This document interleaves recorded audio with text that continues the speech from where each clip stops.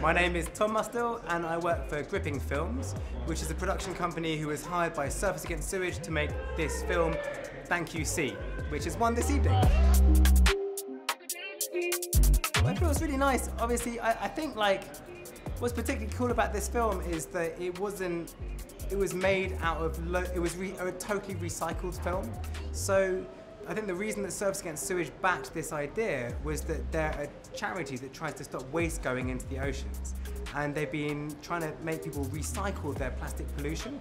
And we pointed out like there's so much amazing footage generated by people who love the ocean around the UK seas in words or in video footage.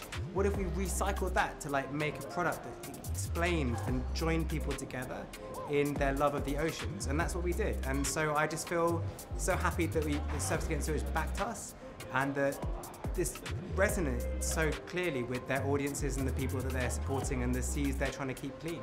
Yeah.